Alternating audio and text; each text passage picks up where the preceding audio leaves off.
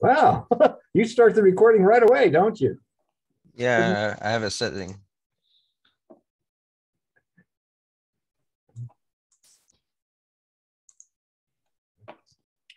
I have a setting that uh, whenever I start a meeting, it starts recording automatically. Oh, oh.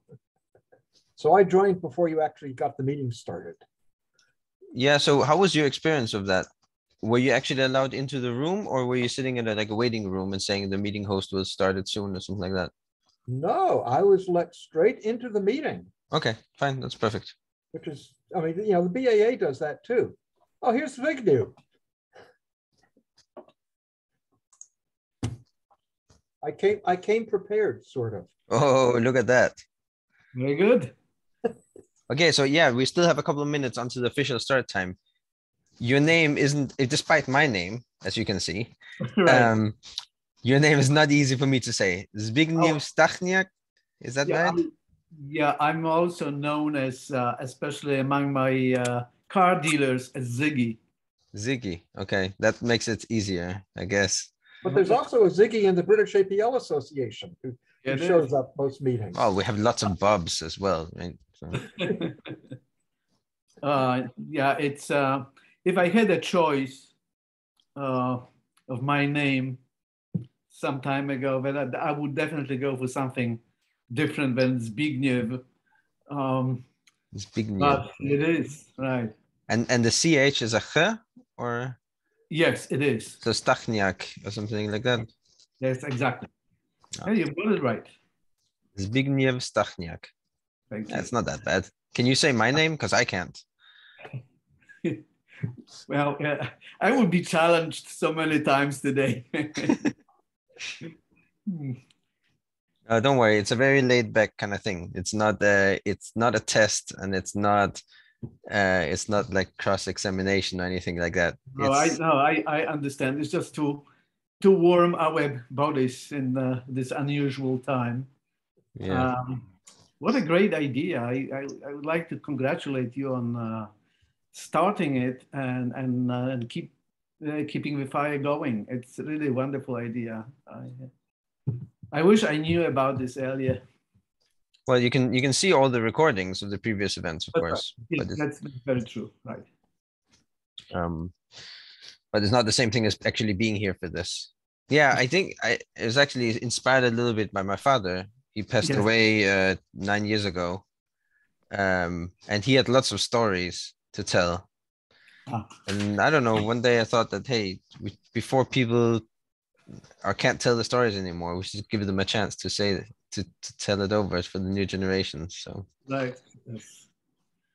Now, the uh, the uh, the main reason why I do history of computing is exactly uh, the stories. I mean, it's it's just wonderful, and um, you don't know when to start, when to end. Starting with things like uh, you know Roman abacus, uh, two thousand years ago, and ending on um, what we do right now. So so stories is everything for me, and this is this is every time I have a chance to talk to so-called pioneers of computing, uh, then uh, my blood pressure, pressure is going up. So it's, it's nice to uh, to listen to all these wonderful stories. When you were building things with a piece of wood and a wire, and it, it was a telephone, right? yeah, sure. Okay, well, this is our starting time. More people might be dropping in later, but it tends to be like a, a handful or two of people here, and then it's of course recorded, and a lot of people right. go and watch it later. Time zones are an issue um, as well. So um, most of the guests we've had so far uh, have been people that were previously known to me. So I grew up with APL, and uh, I heard lots of about lots of people. If I didn't see their names in conference proceedings, um, but I, I, you have been publishing things in conference proceedings. Maybe speaking at at the APL conferences as, well. Unfortunately, uh, the names Zbigniew Stachniak did not seem familiar to me. And but then I heard about what you'd been involved with, and I thought, well, that's spot on for this. So, um, tell us a little bit about uh, your history, involvement in APL, and um, well, you've obviously been involved in, in some of the design and development work of, of APL systems. That's what we're here for. Right. Thank you very much. And uh, uh, thanks for inviting me to uh, and giving me a chance to talk about something that I spent some time ago, uh, some time um, investigating and something that is very, very close to me. Uh, however, uh, let me start with an anecdote. Um, you mentioned that my name was not familiar to you before we connected. Uh, things can get really on my side very bad. I remember once being invited to a, a history of technology conference, and um, so I entered the room, and there were lots of people, and there were some elderly ladies sitting in very very front. And um, I turned on my computer, and the uh, the slide appeared. Um, something about history of computing, of course, and I hear one lady talking to another one. And I thought that it will be a talk about Catherine the Great. Uh, my, my wife is a writer and uh, she published uh, quite a few uh, history books about Catherine the Great. And so the name may be familiar, but not exactly mine. And, uh, so I, I suffer by the popularity of my wife. Anyway, uh, let's let me let me um, move to the uh, to the subject, MCM computer. Let me let me begin with a sort of disclaimer. I I did I did not work at MCM at all. Uh, uh, the company that designed the MCM 70 computer, and some sort of pseudo historians were writing that I was. No, I was never involved in in any work on that. Uh, my knowledge of this MCM computer and uh, the corporate history of MCM is uh, uh, from my own research and my conversations and interviews with former employees of MCM. So just to clarify that, I'm a historian of computing, and and um, at some point I sort of rediscovered the MCM story, and that's my connection uh, with that subject. Um, so what was the MCM 70 computer? Why is it important? Let me let me start with that. Let me start with a short answer. Then I will move to the full story. Um, so it is my opinion that MCM was um, arguably the world's first practical mass manufactured uh, personal computer. It was the first such computer built around a microprocessor. It's the first microcomputer. Um, it came with built-in APL and sophisticated operating system at the time when, when these things were not really new. We are talking about very, very early 1970s. Um, the company that manufactured the MCM70 um, named Microcomputer Machines or MCM uh, was among the first firms to probe the full potential of microprocessor technology for the design of uh, computer hardware. Uh, it was definitely the earliest company to embark on the commercial manufacturing of a PC. So that's, uh, that's an interesting fact as well. They actually started their work on uh, on their MCM70 even before the Intel 8008, uh, which is the heart of the computer, was was put on the market. So it's it's it's very very early. You can be earlier. You can start earlier than that. So that's the short um, answer to the question: uh, What was the MCM70? Why why it's important? So let me tell you the full story and um, about the computer and uh, about MCM's uh, romance with APL. That's, that's, that's why we're here, right? Um, um, so a brief timeline. Um, the story really, really starts in, at the end of 1960s. Um, a Canadian entrepreneur by the name of Mers Kutt uh, was hired by Queen's University as a math professor and had nothing unusual to hire someone as a math professor, uh, but he had nothing to do with math mathematics, but uh, he was very well known um, as a computer guy. By that time, he was called in Canada the king of computing. And Queen's hired him not for his mathematical skills, but to run computer center. Queen's was, uh, Queen's University is one of the oldest degree granting universities in Canada, but around the uh, 1960s was far behind other universities in terms of computing, and Kutt was hired to fix it. Um, so here he comes to Queens and looks around, and what he sees, he sees uh, brave few professors uh, doing some computation, and of course, everything was mainframe ba mainframe based batch processing and so forth. And around 69, he figured out that actually the way to, to deal with, with all the problems that we know, which are associated with batch processing, and especially when there are students involved, hundreds of students and professors, is to do something else. And this is when he came up with an idea of a small desktop APL computer on a desk of a professor, a desk of a student. So that's the beginning uh, but the technology was not there yet. So it was a nice idea, but uh, idea is not enough. You have to have a technology um, uh, at this stage that you can do some implementations of that. So let's go to 71. So two years later, um, on the actually December 71, he incorporates Kutt systems, uh, later named as microcomputing machines or MCM. Um, the purpose uh, of that company was to manufacture computers for personal use. So that's uh, uh, December 71. And uh, actually, there were two guys when, the, when, uh, when, when the company was incorporated. So one was uh, Miss, Mr. Kutt, and another one was Gord Ramer, actually from my, he was working that time at my university, at York University. Um, and eventually Ramer would design MCM APL, so APL variant for this little computer. And before joining MCM, uh, he was uh, he designed uh, York APL, a, um, a version of uh, uh, APL 360 um, that was installed on some universities and some institutions.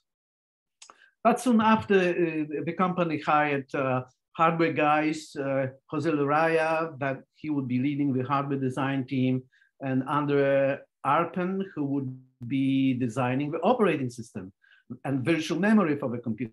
I will get to the configuration of the computer later on. So in uh, 72, in, in, early 72, so a few months after incorporation, um, they started experimentation with Intel um, 8008 that eventually will be uh, powering uh, the computer.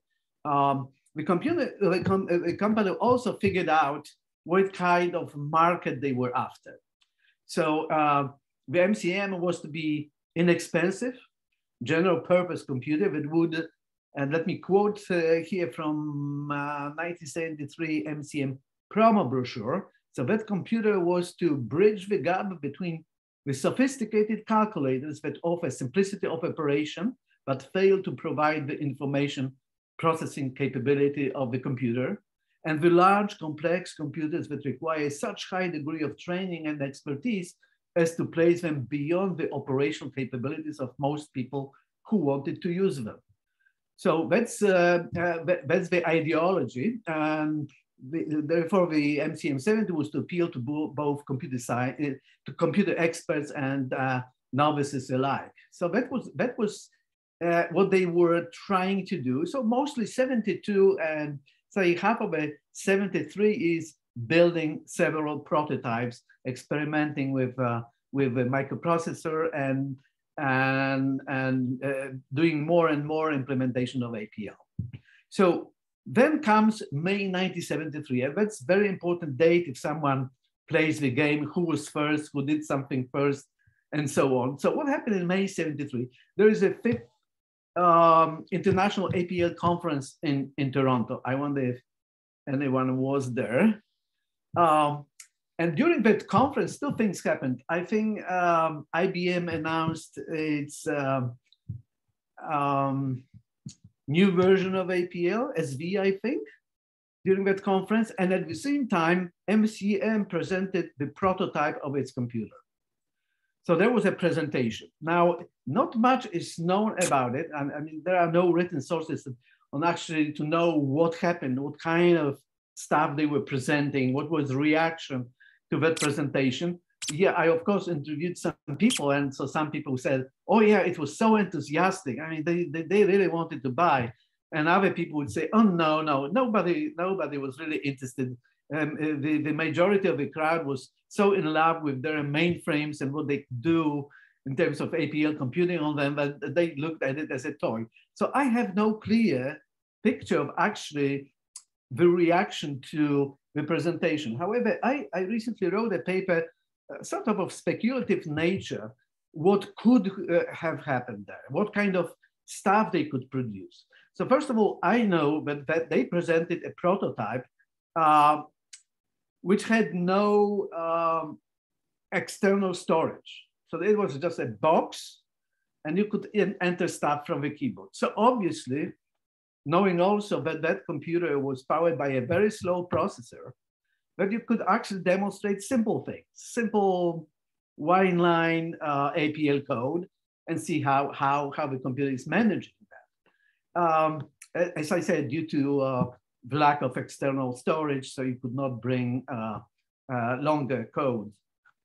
Um, obviously, there is a possibility that some of the people would challenge MCM and say, well, show, show us something more exciting rather than adding two numbers or creating a little matrix. Um, so for instance, someone could ask, uh, I don't know, to generate uh, 255 integers and to divide each of them by 0.7. Uh, using, say, iota operation. And that would require a little bit of time. And actually, that prototype would probably take around a minute to produce the result. Actually, I did a test on one of the MCM 70s in our museum, and the machine took 50 seconds to produce the result, right? So most likely they would be staying away from it and controlling the presentation. As I said, that was one of the early prototypes of a computer. So that, that is important thing. They demonstrated that eventually this is what we will have on our desks, little things that can do a lot and uh, that they can operate with powerful, uh, powerful software. Well, it was already running the, the 8008 processor, right? Right, that's right. No, no, from hardware point of view, it was almost ready. And actually, uh, we don't have that particular prototype in our museum, but we have schematic diagrams of the computer and we have piece of software, operating system of it. So the operating system was already ready to accept input I/O to do I/O with with uh, with cassette drives. This is what eventually they will do, and and uh, and um, APL was was almost complete in terms of implementation. There were minor changes uh, when you look when you compare what was in the prototype and you have that, and what was available with the production mode. So, so a lot of things were ready, but but but as I said, they, they probably had still problems with uh, with power supply. Obviously, they had problems with power supply and with with disk drives. Uh, on the prototype, there are photographs of the prototype. There is no space for any external hardware, uh, for any built-in um, hardware like cassette drives on the production model. Um, there were no ports to connect, so that was really really a, a demo. But but the pure computational power of the device would be approximately what the production device would do, no? That's right. That's right. So, so dividing so, a, a, hundred, uh, 255 numbers in floating point operations, taking a minute sounds awfully long. It was not that slow, the processor. So it would inefficient coding or something? Uh, but I can't, I, I can't really say, but I, I, I think it is uh, probably the combination of implementation uh, because you have to you have uh, you, something that I will be talking about a little bit later. The 8008 had significant lim limitations. Uh, so it's not only the speed. Yeah, you could probably deal with a little with speed a little bit, but the, the, the main the main two problems were lack of directly accessible memory. It was only 16k. Uh, so if you if you if you if you adjust the 16k for RAM for workspace, there's not not really much. What can you do with 16k, right? Um, and on top of this, um, in 8008, you cannot save. Um, uh, you, cannot have interrupts that will save the state. So interrupting and sa saving uh, what the computer is doing, doing something else, and re returning to it. So there, you, you had to deal with these two problems. So the way MCM was eventually doing was they were, they invented the virtual memory and they were swapping RAM for space on cassette tapes. That's going to slow things down badly. That's, that's right. to do, to do, uh, uh, to, to, to, to, to have large uh, workspace, right? So eventually, instead of say 16, 64Ks, they had up to 200K of space available to, to the user. But, but as I said, the main problem was with memory, memory limitation. That was the, that was that was the killer. All right, so um, so that, that's that's um, that's May. Now let's go to August. There is another Congress, this time in Denmark, APL Congress in Denmark. And what the MCM did, something really spectacular. They prepared a portable, uh, battery operated version of MCM7. Everything was packed, the hardware was packed into attache case together with batteries. And this time the computer had a built-in cassette drive so it could demonstrate um, um, more sophisticated codes. And it was a sensation, the demo. For some people, the sensation was that you could have APL in such a small box. But funny thing is, because there was um, the, the, the, the, the day after the presentation, uh, Danish daily Politiken wrote a two-page article about the demo, about the sensational computer. And, and, and, and there are some quotes from participants of a, of a presentation. And, and a lot of people were actually amazed, not by the fact that there was an APL in there, uh, but that it was that there was no power cable anywhere. So they, they thought there was some kind of a cheat, there was something underground and so on. So they were searching around uh, for a power source, but it was battery operated. So so that was that was that was amazing. And MCM took that um, um, article and um, uh, this nice review, and they they decided to go on a European tour with that prototype. So they were going uh, to places like France, Germany, Holland, Italy, Switzerland, UK, and they had uh, they attracted considerable attention and uh, and they had really wide uh, uh, press coverage. And let me find a quote that actually summarizes uh, sort of a, the the response to these presentations. Okay, it is. Uh, there seems little doubt that Canada has stolen an early world lead in the new era of distributed computing, which will bring the dream of computer in every home and office closer to reality. So here you have sort of uh, zooming on personal computing. Uh, all right, so that's, that's September. This is the huge European tour.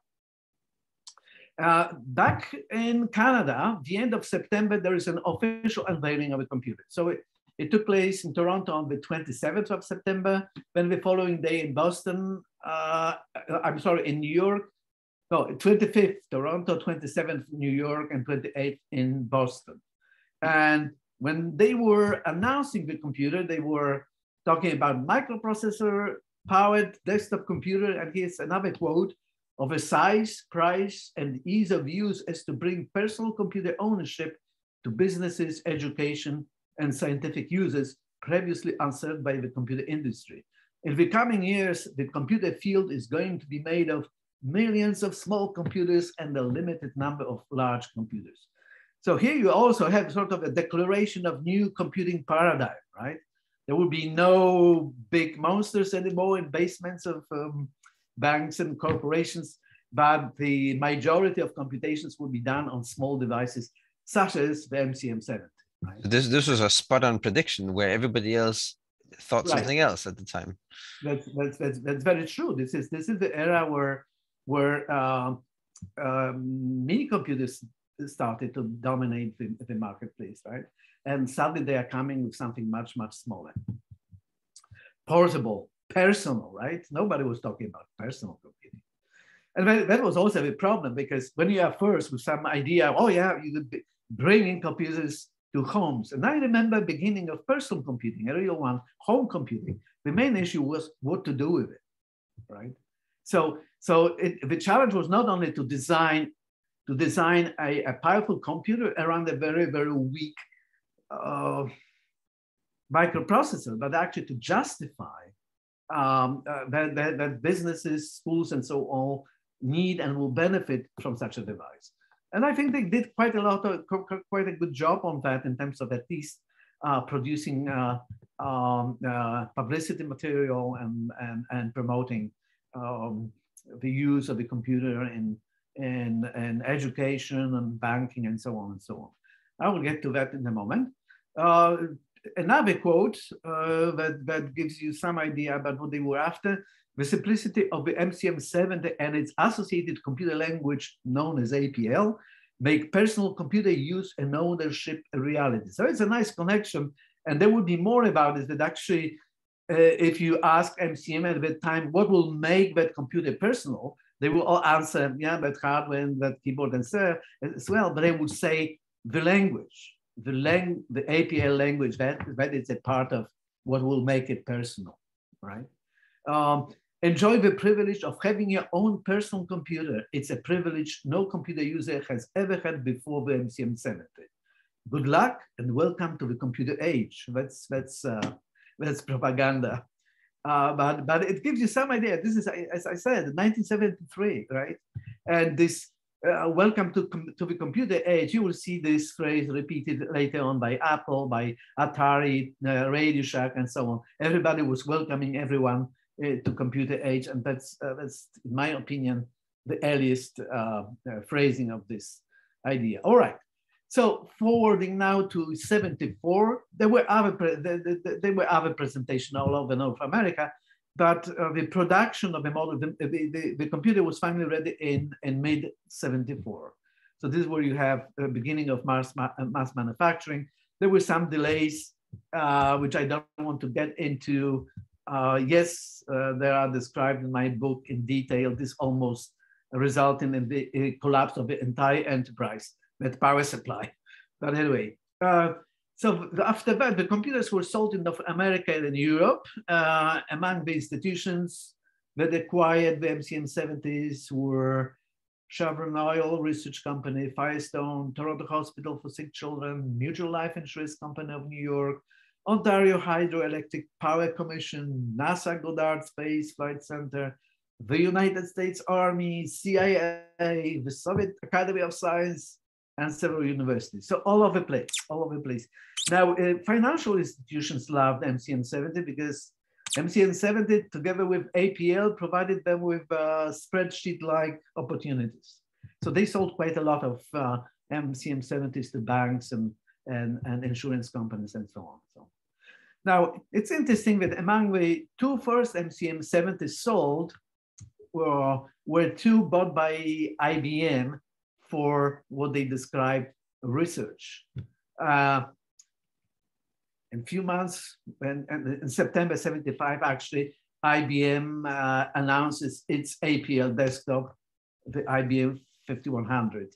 And this is when the competition between MCM and IBM starts, begins. Now, I couldn't really get any details on what was the degree of MCM70's impact on IBM 5100?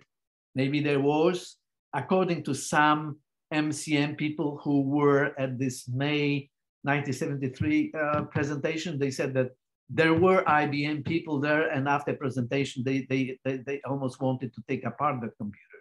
So there is some indication that there was an interest in the machine, but to what degree IBM uh, in the past also was interested in building small APL machines. So maybe there is no connection. So I don't want to uh, really go into speculations, but that's, that's what happened. I mean, the first two machines went to, to, to IBM. So briefly about uh, specifications. So if you bought this little 8008 powered computer, uh, this is what you had. So inside you have Intel 8008, that was an 8-bit uh, microprocessor. Uh, uh, RAM, 2 to 8K, depending on how much money you had. Uh, RAM between 14 and 32 kilobytes. So they used bank switching to actually extend RAM because this is where APL was sitting. This is where operating system was sitting. They needed the time. So again, why it was slow? Because if you wanted to access some APL functions and they were not in the, the, uh, real ROM, you had to do bank switching and to access uh, uh, uh the code. So external, sto external storage, um, um, there were two built-in uh, cassette drives. One cassette drive was, was just uh, for user functions and data. Another drive cassette drive was used for virtual memory, and I will tell you a little bit about this in a moment.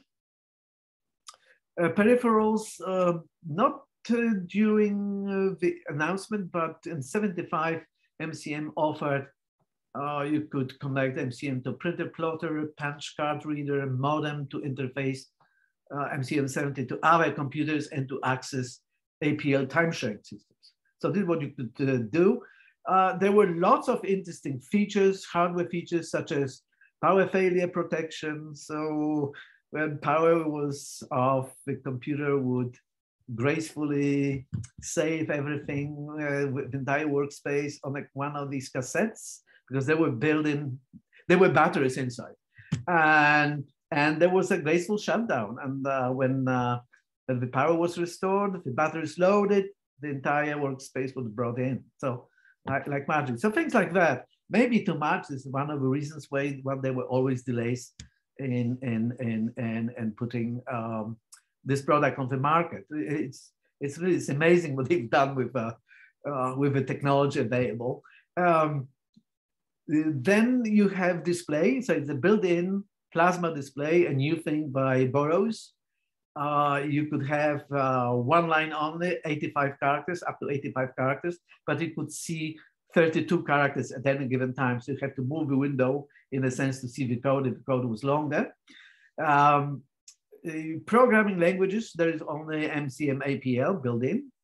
Um, there were some attempts underground attempts at, at, at doing and offering basic, uh, but uh, that was considered a, a, revolt, so there was never anything, anything else. MCM also offered an APL um, applications library. Now, let me tell you a little bit about. You would keep the main tape in one of the two drives and then you load it in, the, in another one? That, that, that's right. So so, uh, so um, the idea was that you copied what you needed from applications library to your user um, um, tape. So you had on the tape whatever you wanted, and the other cassette drive was typically used for virtual memory for some something more advanced. So the the, the virtual memory if, if you if you activated it, it, it, it, it will be used, it will use the entire drive. So nothing could be placed there. So the other drive would have to be shared uh, between these libraries and, and, and user-defined functions and, and pieces of data. So the, yeah, they produced a lot of tapes, economics, engineering, and, and things like that, and and and and even games. So so uh, yeah, uh, some of the earliest uh, uh, PC games uh, have been uh, were designed for for MCM 70. All right. Um, so uh, what about the system software? Um, so there's, a, as I mentioned, an advanced operating system and consisted of two modules. One was called Easy, one was called AVS, and user interacted with OS via um, commands which were APL-like. Uh, so for instance, there was no on-off switch basically you press the uh, return key and the computer was on and to power it off, you, you, you typed quad off. That, that was, the, the, that was the, the extent of uh, turning it on and off. So easy, that was external allocation system. That was basically IO utilities for digital cassette-based storage, uh, nothing else. So typical IO, typical your DOS operating system, right? AVS was a virtual memory. And as I mentioned, the lack of memory forced MCM to, to develop their own uh, virtual memory that was at that time available only on a few mainframes. Um, and MCM70 was swapping uh, functions and data between one of the drives and, and RAM, and, and you had uh, 100K uh, of extra memory for that, right? So that was quite, quite, quite a lot. Uh, APL uh, so the, the choice of programming language was, was critical to formulation of uh, the personal computer concept and MCM. And for Kutt, who started all of that, uh, there was only one choice, and that was APL, right? So there was nothing else. Uh, and the MCM70 was to be as simple to use as a pocket calculator. And for MCM, that simplicity was rooted in APL language. very concise. You have one screen, uh, one line plasma display. What can you do? It's uh, and and and because uh, uh, of, of of APL syntax, you could squeeze quite a lot on, on that on that single a single line. Right? But how did that work then? It- Yes. One of the core things in APL is, I don't know, it's not core thing, but one of the traditional things in APL is that if you create a matrix, it actually looks like a matrix as opposed to a flat thing. How did Right. it deal with multi-line output then? uh, well, you, you display this line by line. So you, you, you, you press enter and you will have the next line, the next line, the next line, right? Or Ah. if you wanted, you could squeeze some of the code on one line, right? Just separating com- uh, uh, uh, commands. Um, No, uh, but for the output, so it, it had a possibility. Did it remember its own output? So you could go back up and see oh, right, absolutely, absolutely. And Ah, And on that display, this plasma display, in the right corner, uh, there was a little space. So instead of uh, that, there was one space for one character, character, and that space was reserved for some information, what's going on with your output. So there was an information. There is more output. Press enter. There is still more output. Press enter. Or you can go back. So so there was a little, but that little sort of. Um, um, symbol that was indicating what's how the output looks like and what you can expect, how you can navigate. it's a Then later precursor to the to the scroll bar. Right, right, something like that. And and eventually, when you had a printer uh, available, then, then of course you could print um, uh, the, the the entire output as as uh, as stored in memory. Right. Uh, so. Um, so MCM was very, very happy with, with their APL, and uh, they said, well, it's uh, the set of of AP, MCM APL uh, um, arithmetic operations is so rich that you, you, the user, you can use the computer right away as, as a advanced calculator before moving to more complex tasks. Um, as I mentioned, uh, MCM APL was designed by Gord Ramer between 72 74, and the idea was to have it as close to IBM APL 360 and APL um, SV as, as possible.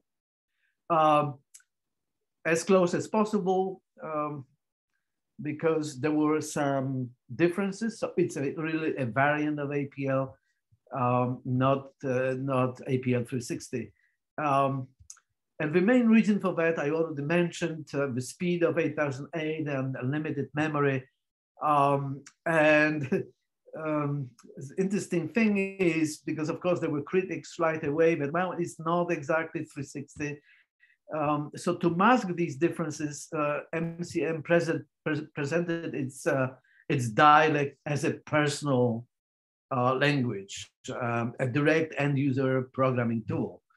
Uh, I have a quote something about this. Okay, the MCM APL was designed to be simple and easy to learn so that the non-programmer professional can quickly learn to express his own problems in his own way. And how quickly? Uh, MCM claimed that the user could begin computing with um, MCM APL after only a few hours. Uh, and eventually it would find that, and here's another quote, APL gives an almost astonishing capability to solve complex problems, right from accounting, finance, inventory, forecasting, to engineering with the shortest programs of any existing computer language. So this is, you can see how in love they were with, uh, with APL. All right, uh, connecting all the dots now. So MCM personal computer, simple to use for almost everybody, and APL. And this is, I promise, the last quote that I found, but this is a very early, again, promo literature uh, from 1973. So here it is. Uh, APL is the simplest and most powerful programming language yet developed. It is capable of handling problems that wouldn't be attempted with other languages. These features make APL the most effective conversational language in the computer world today. And the MCM70, with its full implementation of APL, hmm, a most significant advance in the development of interactive computer technology, right? So that's connecting everything with simplicity. And uh, he really thought that MCM will change the world. And I think there was a possibility if uh, certain things went uh, in a different way. But anyway, so in the end, so what happened then? So we are talking about 74 production, manufacturing, selling uh, 75 peripherals. But in the end, uh, for several reasons, uh, these reasons were financial, personal, etc., the company failed to capitalize on its early lead uh, and the newly created desktop computer market. And by 76, there is only sporadic interest in MCM, judging from publications in newspapers and magazines. Um, and, and that's it, more or less. The company was dissolved in 1982. They manufactured other models, MCM 700, 800, 900, MCM Power and Mini Power or something like this. So they manufactured uh, several um, um, generations of computers. All of them were APL, uh, but they were marginal players on the uh, desktop market. So that 82, uh, in principle, that's the end of the story. But here it is, the fun part, at least for me. So 82, let's go, go forward to 1999. Um, during one of my trips to, to Paris, I was sitting in uh, Mitterrand Library, flipping the pages of uh, um, electronic magazines from early 1970s. And I saw an interesting little article with an image of, uh, of a person identified as Mers Kutt operating a small desktop uh, device called the MCM70 and was described as a microprocessor powered APL computer from Canada. Now, I was puzzled a little bit by this because I was of an opinion at that time that there were no microprocessor powered desktop computers. Um, on top of this, APL uh, was available only on mainframes, and uh, there was a there, there was a discussion how to bring APL to mini computers. And this little thing uh, really looked like uh, like um, a typewriter. It was typewriter size computer. Actually, that photograph was a was of Kutt and the prototype that he took on that European tour. But I, nevertheless, I decided on my return to Canada to investigate the story. So uh, I went on the internet and um, searched for Mers Kutt. Uh, there were no hits for MCM7. Mers Kutt, three hits. There was one person selling a computer, uh, selling a horse somewhere in Ontario. Uh, there was Mers Kutt, who was uh, an employee of a company called Air Games, uh, designing games for air, for for passengers flying on airplanes. Uh, I went for specific, specified others, and there was no Air Games company there. So there was the, the third hit was that Mers Kutt was a captain of Tennis Canada. Uh, he took his team somewhere to South America and Canada lost 5-0 something of the games they lost. I contacted um, Ten Tennis Canada and asking for further information. They gave me an email. I sent the email. Mers Kutt uh, responded, yes, that's me. I invented MCM70.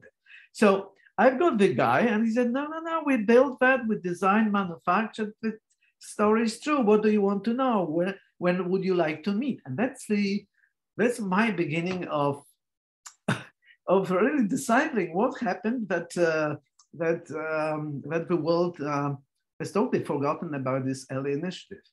Um, so that was um, sort of 2000. In 2003, after doing research and media and interviews, I published the article in the Annals of History of Computing. It's uh, front page, nice.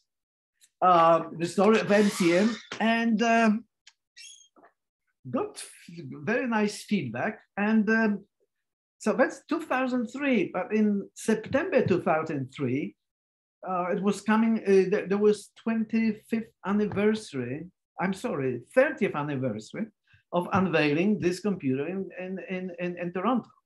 It was September, September 73, and we are talking about September 2003. So he said, well, there were several newspapers, top Canadian newspapers, during the original event, unveiling event, let them uh, write again about the, the, the, the, the computer to the, uh, to the newer audience. which they did. They actually published uh, two-page articles on uh, on the original event and uh, and with interviews with Kutt and me with photographs. Uh, very very nice, but I, I, I, was expecting that that would be it. But um, as we now say it, the story went viral around the world. Um, it's, it's just just unbelievable. And uh, from zero hits on the internet um, in 2000, uh, 2001, I checked yesterday. Um, there were 44 million hits for MCM for MCM 70, and then I typed uh, ENIAC, and it's only three million, right? Um, so it's still thing is, is going uh, going uh, going uh, uh, quite strongly for for the for the story for the computer for the story. Um, since then, I and others published several articles and and and I published a book in 2000, 2011 where most of what I know about it is published. Later on, I realized that I missed the entire story about software. I thought that I was so involved in actually building this computer from nothing and the corporate story and the dramas, the uh, the banks, the venture capitalists, and so on.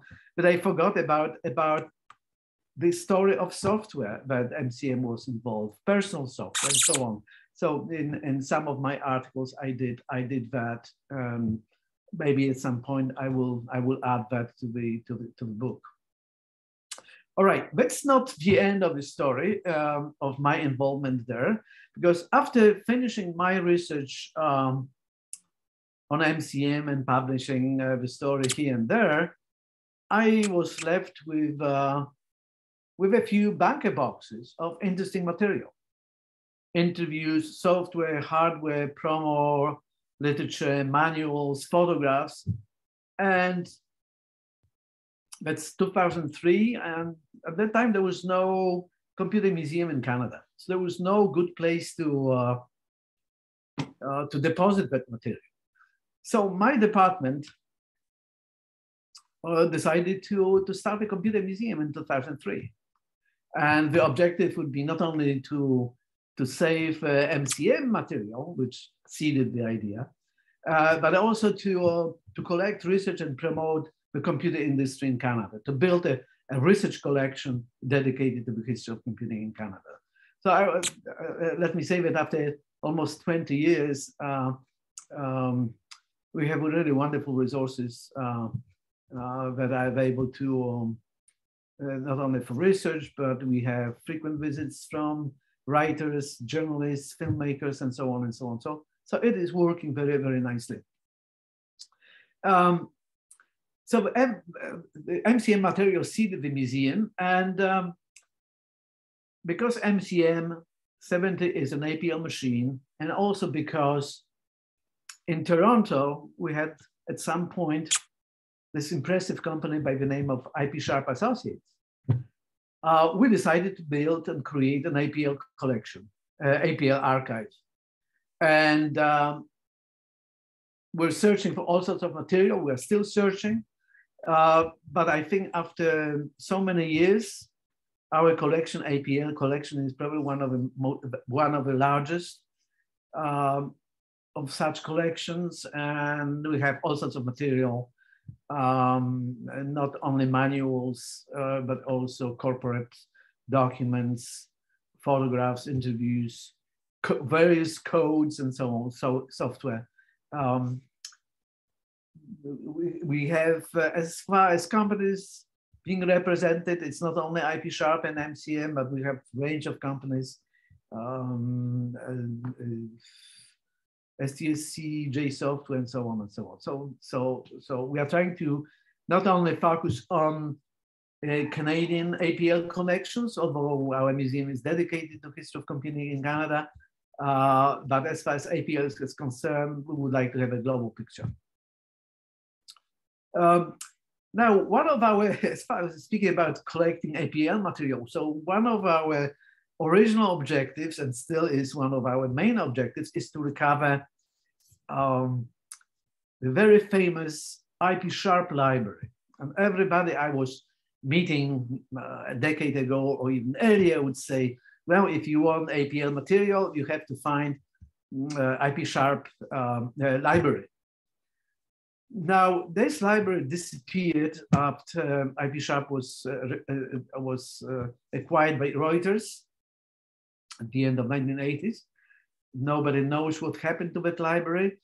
Bits and pieces, some manuals, some books are around, and every now and then we are getting a manual or a book with a stamp IP Sharp library. So we have some of that material, but, but it's a fraction. So we're still hunting for, um, for more, at least to have some idea about the scope uh, of, of that uh, collection of, of documents. All right, um, so that's uh, APL and MCM70 story. Um, let me conclude with um, by taking this actual opportunity to mention one of my current projects, which is also APL related. Um, although I'm done with MCM and with MCM 70, I'm still investigating APL, but this time I'm looking at the use of APL uh, in computer generated art or computer supported art.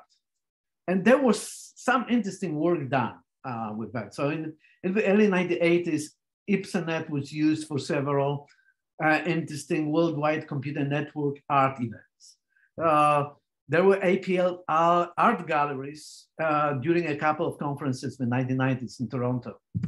Uh, was there anything else? Um, well, if there was, I would like to hear about this. Please let me know. Um, so I'm in contact with several people who did actually uh, support artists in their early computer art ventures, and APL uh, was used for a variety of purposes. I would like to learn as much as possible. We are thinking about building a virtual exhibit of uh, APL supported computer art as one of our uh, museum's virtual exhibits, uh, but we are still uh, um, building the full picture of, of, of, that involvement. There's a lot of computer graphics produced with, uh, uh, with APL software. Uh, but to do graphics does not necessarily mean that you are creating a, a, piece of art. So one has to be careful with that. So please let me know if you if you know something about that. And I think there was a, a somewhat well-known composer who is using APL in his compositions. I'm sure I can track down what the, his name is. That would be wonderful. No, and, uh, and then I suppose, as you say, it's easy to well, it's common to do uh, graphics, but uh, movies is supposedly art, right? Right, obviously. So uh, a couple of movies have used APL. Yeah, Stanley Jordan. That's what Brian, Brian is saying. Yes.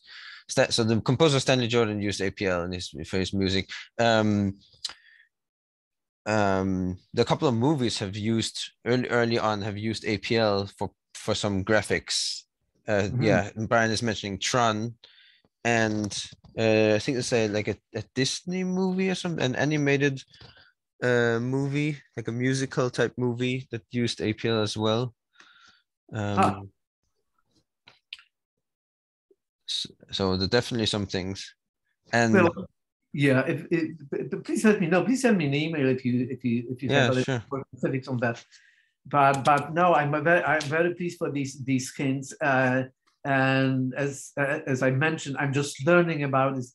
I, I don't have a full picture of the scope um, uh, of of the, the use of APL, but uh, you know there is there is so much work done on on computer assisted art or computer art.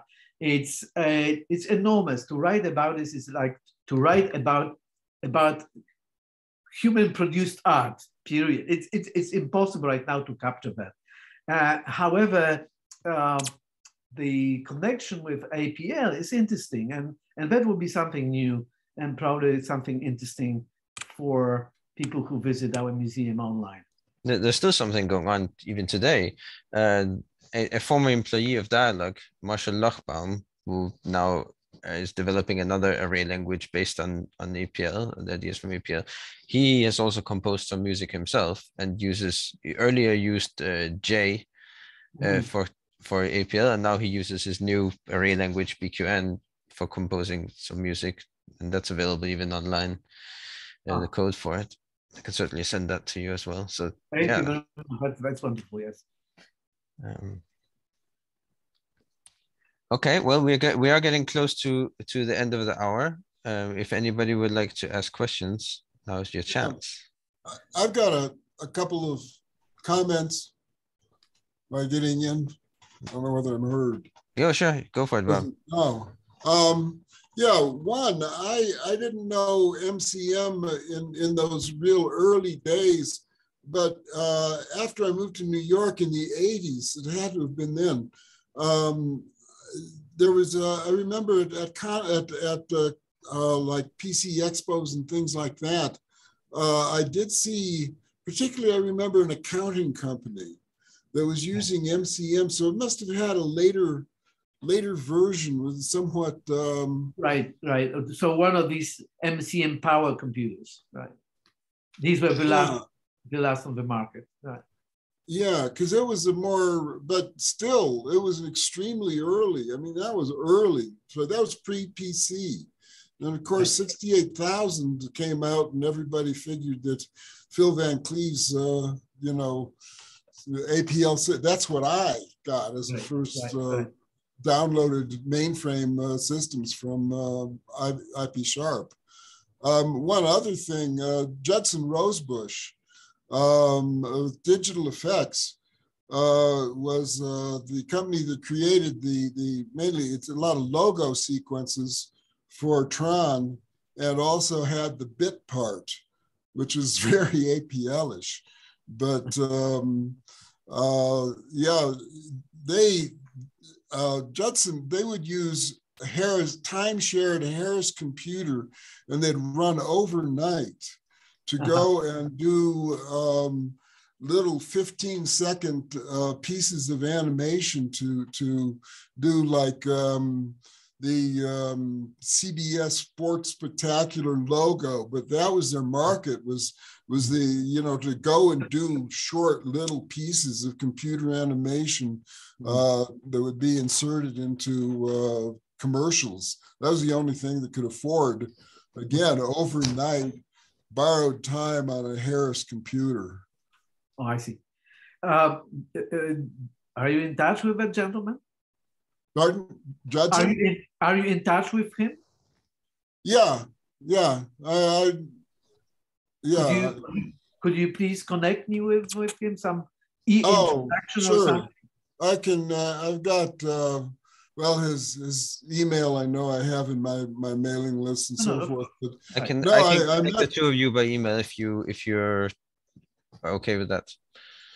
Yeah, Judson. Um, I met Judson and, and Digital Effects at the uh, uh, SIGGRAPH 79, where I uh, displayed my my six cube logo.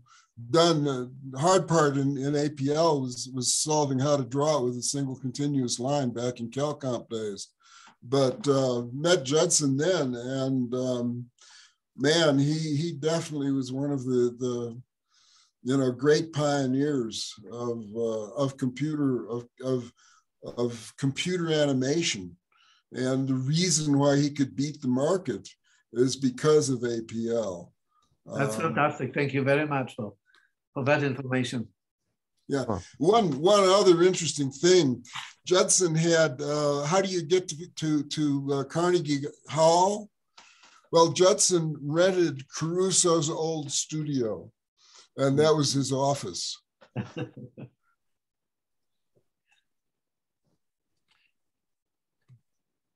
Anybody else anything?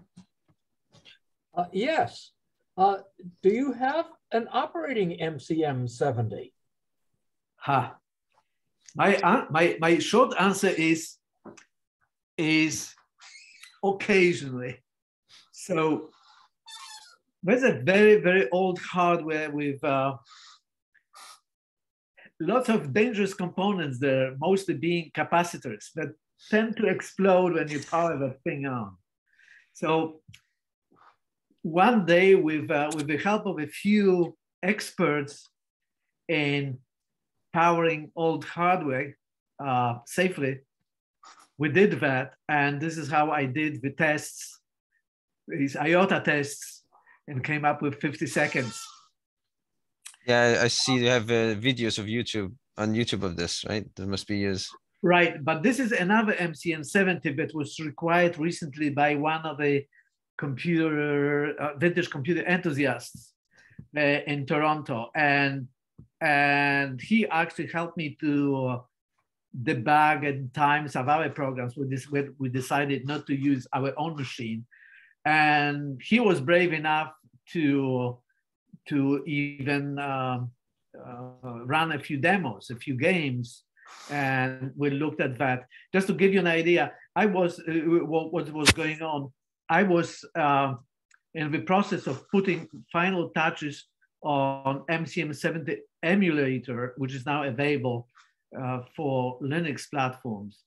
And uh, so when it was ready, the, the last stages of the debugging of the emulator, I noticed that when I'm doing some computation, some strange junk appears on this uh, uh, little display, uh, this plasma display. Some patterns flashing pixels.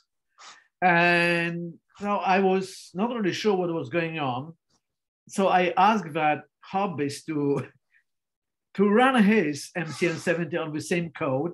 And the funny thing is that the same thing happened and exactly the same strange patterns.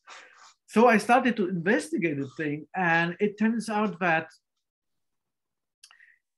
uh, MCM70 didn't have separate uh, display memory. It was display memory was part of RAM. That's fine, uh, but because of a shortage of um, RAM, what MCM did was when the computer was doing calculations and display was not involved, the display RAM was also used for calculations. Right? It would be reflected on the screen when it did. so. Exactly, exactly. So all these uh, partial results would be, you know, all these bytes would be shown as. Ah, uh, but that that meant that a very clever programmer would be able to write graphics to the screen instead of instead of characters. Absolutely, absolutely. So so so so. Uh, so thanks to experimentation with one of these MCM 70s, existing 70s, um, um, um, I could confirm uh, at least the uh, emulation of the design on our emulator. But now the emulator is in such a state, it's, it's pretty historically accurate. So, uh, and it runs original operating system, original MCM, APL, and so on. So everything is original. So every investigation that we do concerning software or hardware, we really do investigate the emulator. How is, the, is it available anywhere, the emulator? Yes, yes, yes. If you go on uh, our museum, York University Computer Museum, yeah, uh, and you go under research, I think, and there is MCM70 emulator. Ah, and I and see the main connection with Judson Rosebush. He's on Facebook. Well, I, well, yeah, I'm not. I can appreciate that. Uh, yes. Oh, but if they okay. Oh, but so it's so it's possible to obtain the the emulator from the museum. Right, right, right, right. I wonder I, how it works with copyright when the when the company is completely gone with nobody taking over. well, it's uh, it, yeah, it, it's uh, it's um, it's unresolved. I, I don't think anybody is claiming anything. But uh, the other thing that I that, that we use is uh, the original operating system. And so the content of ROMs, the MCM APL, I don't think anybody has any rights anymore. And, and the guy who designed uh, MCM APL, Gordon Ramer, he's fine with it. So, no. Oh, so if you have specific permission from him, and maybe even Mers Kutt is still alive, right? Yes, yes. So if you can get permission from from the two of them, he would be the one that would own the rights to it, I suppose. Right. Uh, so, has nothing to do with anymore with that because before actually the machine was put on the market, he was kicked out of his own company Oh dear. and signed all sorts of papers preventing him from even mentioning the term MCM 70. So, so he is out. The only person who, uh, there was Gord Ramer who designed uh, the operating system. Unfortunately, he passed away a few years ago. Uh, so the only, the only uh, person who may claim some rights to software is, is Gord Ramer. And So you should have you put a note there that he has said that it's okay? Because it would, that would make it easier for people, for at least for some people that are worried about that to, to I, use I, it. I, I- don't remember. I have something to that effect, but uh, um, uh, regarding rights to the uh, uh, to um, MCM APL. Wh- What is it? Uh, what is it written in the emulator? Or how does it run? Or it, it's in C. It's in C. Well, it would be it would be very Uh, cool if it could be exposed to an online thing, so you could go to a website and actually try Right. it out. Mm, Oh, so there, uh, what, there, there is a um, a person in in the US who actually made it. Uh, I think it's the last stage of testing, and so the emulator will be available on on the- on on, on, the internet on, web, on the web. That would be so awesome. Right. Um, Yeah. So again, he he claims right now that everything works, and I try to confirm that from my uh, box, and I couldn't. So ju- just if, probably a week or so, and then it will be available online as well. You should let me know and I will put uh, a link. I don't know if you've seen the APL wiki, uh, Yes. but I'm trying to collect all, all the information I can about everything there. And I'll certainly put a link there. There's, there's a link to be able to run uh, 5100 there or 50 5150 or something like that uh, as well. Um, Mm. so it would be cool to have this in the collection. Sure, you can you can right now put the link to that emulator that I have. Yeah, Uh, sure. As soon as, as the app is available, we'll expand it. Nice. Okay, if there are no more questions, then uh, you need a huge thank you for coming here and telling this. You're basically giving a giving away your book for free by by speaking all this. Uh, so really really appreciate that. And and this is a chapter a chapter of APL's history that I knew very little about. So definitely been been learning a lot of stuff. Right. So it's you're right. It's it's my APL book uh, with a few deleted scenes brought back. Yeah, publish an addendum, or if you uh, feel free to to go in and edit the or tell me what to edit on the on the MCM 70 page on the APL wiki. If you want to add, as you said, your book fo- focuses most on hardware, and there are things that the software we left out, which is obviously the most connected to to the question of APL.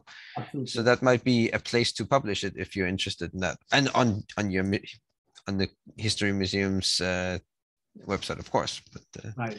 Right. it's it's open, it's free for everybody, like Wikipedia. So Very good. Will do. thank you so much. Really appreciate this. I'm sure everybody here enjoyed it very much. And uh, yeah, well, feel free always to join in on, on the APL campfire. Where we'll be back in uh, four weeks. And uh, at that point, we are um, we are going to have Charles Brenner as guest, who's doing this uh, DNA analysis using APL and has also been involved in the early days of, of APL and developing, implementing APL. So it's going to be great. Meanwhile, thank you Oh, so thank much. you. Thank you very much to all of you, and please stay safe. Curtis, it's very nice to see you again. And I hope that uh, we'll have a nice glass of uh, Chardonnay in uh, warm California at some point or somewhere else. Again, I thought Dag Spicer from the Computer History Museum, who's who comes from Canada, uh, would show up. He did. He did say that he was planning to come to this meeting, but uh, Oh. he must have gotten caught somewhere. very good. Fine. All the best to all of you. Bye. Bye.